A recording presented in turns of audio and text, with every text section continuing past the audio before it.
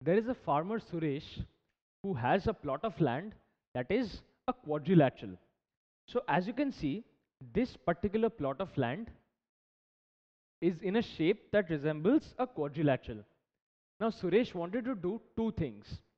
Firstly, he wanted to put a fence around the entire plot of land. Around this entire plot, he wanted to put a fence. And Suresh also wanted to put a net over the entire plot. So in order to do this, he needed to know two things. What the length of the fence would be that he requires and what would be the area of the net that he requires in order to cover the plot of land. So in order to do this, we need to find out two things to help Suresh.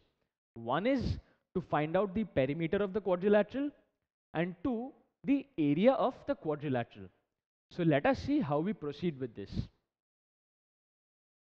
So firstly, we have to find out the perimeter of the quadrilateral. Now the perimeter of the quadrilateral is nothing but the sum of lengths of all the four sides. So if we have been given the lengths of AB, BC, CD and DA, then we can easily find out the perimeter as AB plus BC plus CD plus DA. And how can we prove this? This can be proved with the help of a very simple activity. Firstly, take a ring wire in this particular shape. That is a quadrilateral shape ring formed of wire. And now cut it from one particular end.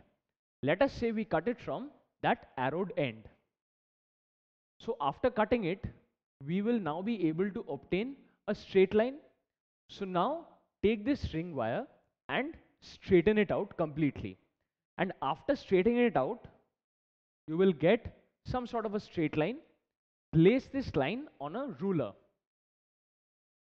The moment you place this line on a ruler, you will be able to measure its length and this length will give you the perimeter of the considered quadrilateral. So this will give us the perimeter and it is nothing but the sum of the four side lengths. So we've solve the problem of Suresh having to put a fence around his quadrilateral plot of land. Now he has to put a net on the land so as to prevent the crops from the damaging effects of pests. So in order to put a net on this particular quadrilateral plot ABCD, he has to find out the area. Now how to find out the area? The area can be found out in a very simple way. Firstly, we consider the two vertices D and B and we join them with a straight line as you can see. Next we consider the other two vertices. So let's say vertex C. From vertex C we drop a perpendicular on BD and from vertex A also we drop a perpendicular on BD. So now as you can see we have obtained two triangles triangle DBC and triangle ADB.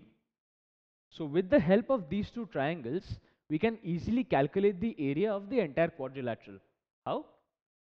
The area of the quadrilateral in this case will be given by the sum of these two triangles.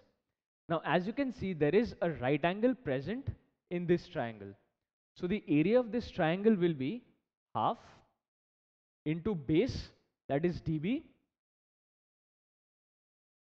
into height that is this particular length. So let's call this E and let's call this F. So into CE plus the area of this triangle.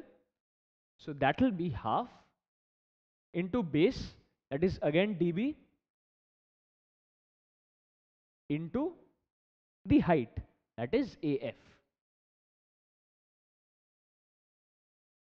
So this will give us the area of this particular quadrilateral as half into CE into BD plus half into AF into BD.